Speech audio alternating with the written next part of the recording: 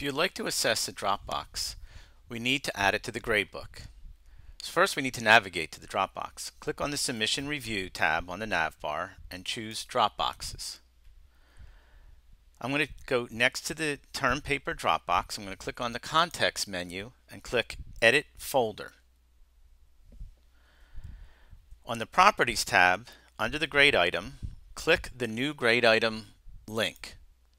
A new window will appear you want to type in the name of this item and it's best practice to use the same item, term paper, that you named the Dropbox. You want to put in the maximum number of points. In this case, we're going to choose 50. And we're going to go ahead and click Save. You also, in the out of text box, have to enter the points for this Dropbox folder it's best practice to enter the same number of points that you used in the gradebook. So in this case, I'm going to put in 50. I'm going to go ahead and click Save and Close.